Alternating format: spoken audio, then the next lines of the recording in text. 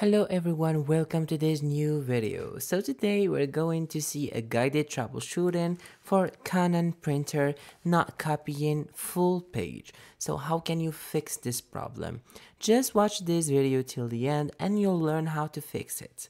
First of all, what you can do, of course you can the original document that you're placing in the printer. So after you check this or how you can do it, Simply place the document face down on the scanner and then align it with the guides. And if you're using the automatic document feeder, ADF, then you have to ensure that the document is correctly aligned and not moved wrongly. Also, you can verify the paper size setting. So you'll need to check the settings of the papers that you're using on the printer and the quality and the size of the paper you're using in the printer. Also, you can inspect and clean the scanner glass. So a dirt on the scanner glass or an ADF, it can distort or crop the copied image. So make sure to turn off the printer and then try to clean it from the start.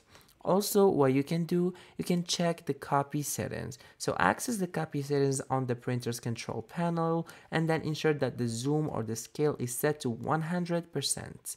So after that, the problem will be fixed.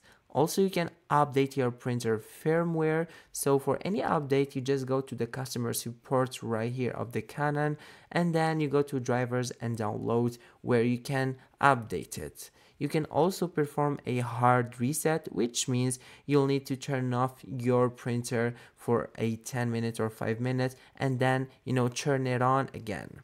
You can inspect for physical, uh, you know, damage. So just open the printer scanner area and check if there are any objects or dirt inside, then you'll have to fix it. And if none of these help you to fix the problem, just go and contact, uh, you know, the support team by email. They'll definitely give you the right guide for your problem.